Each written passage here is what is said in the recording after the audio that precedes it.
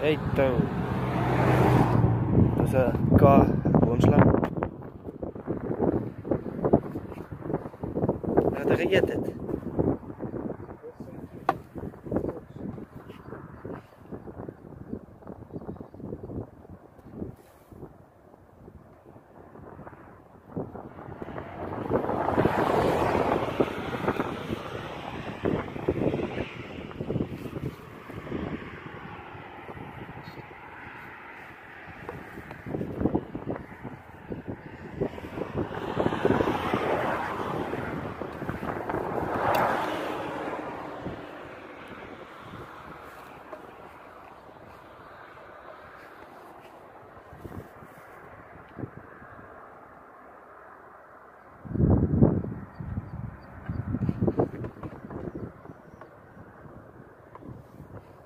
Ei!